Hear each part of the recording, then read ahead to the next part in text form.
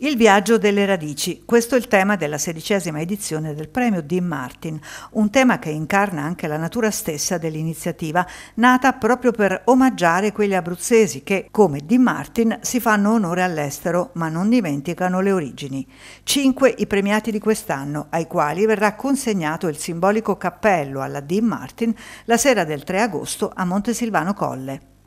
Una bellissima iniziativa nata appunto 16 anni fa per volere per eh, iniziativa della Fondazione di Martin, eh, un premio che negli anni è andato sempre più a consolidarsi e soprattutto a identificare la nostra città, il nostro territorio attraverso una manifestazione che mette risalto appunto i corregionali, i nostri, tanti nostri corregionali che all'estero si sono insomma distinti da tanta attesa, tanta soddisfazione e un ringraziamento e un plauso appunto all'organizzatrice Alessandra Portinari, presidente del, della Fondazione Fondazione e a chi con lei ha collaborato per la riuscita ottimale di questa bellissima manifestazione. È l'anno delle radici, quindi abbiamo pensato comunque di ricordare anche ehm, questo evento a livello ministeriale, cioè quegli abruzzesi di seconda e terza generazione che tornano nella loro terra di origine a visitare i luoghi dei loro cari, dei loro parenti. E ci saranno come premiati, saranno in cinque, ci sarà un avvocato, verrà direttamente da Sud America, è stato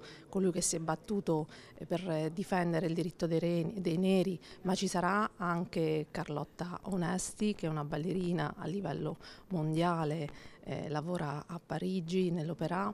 ci saranno eh, diversi personaggi anche legati alla nostra terra perché c'è Centorame, Rodolfo Centorame che è un montesilvanese eh, nato qui ma poi emigrato eh, che è presidente di un'associazione in Argentina. E così mh, come Francesca Della Penna che è una giornalista ma anche una blogger attraverso un suo problema di salute cioè la celiachia si è inventata un blog eh, di cucina abruzzese per ciliegi quindi eh, tantissimi personaggi, ma eh, ci sarà anche um, una stella, cioè uno showman, e sarà Gianluca Guidi, perché lui ha voluto omaggiare nel suo CD di Martin e quindi sarà una serata all'insegna della musica, dello spettacolo, del viaggio delle radici, ma anche una riscoperta delle nostre tradizioni che gli emigranti riescono a portare in maniera fedele in tutto il mondo. Alla serata, presentata da Milla Cantagallo, interverrà anche l'orchestra Dean Martin diretta da Antonella De Angelis